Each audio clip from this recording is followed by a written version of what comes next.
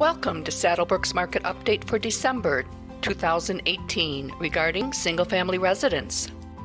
With Kim Boldt, your trusted community realtor, I'd like to share with you December sales activity. Number of homes sold was 14, down almost 41 and 3 quarters percent compared to November. Days on market increased month over month from 42 to 46 days. Month over month, SaddleBrooke's median sale price was up almost 6% at $360,750.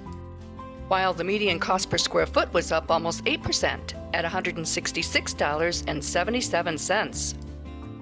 If you're thinking of buying or selling a home in the local market of SaddleBrooke, Arizona, call me, Kim Boldt, your community expert, at 520 940 4541 waiting to exceed your expectations.